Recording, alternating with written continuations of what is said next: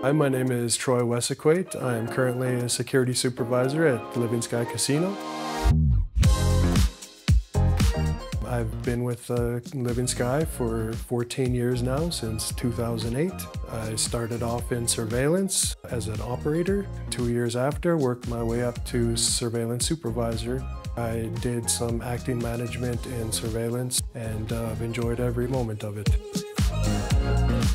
Living Sky gave me that opportunity to learn and grow and, and learn about myself and learn my strengths. So I was able to achieve uh, quite a bit over, over my time with SIGA.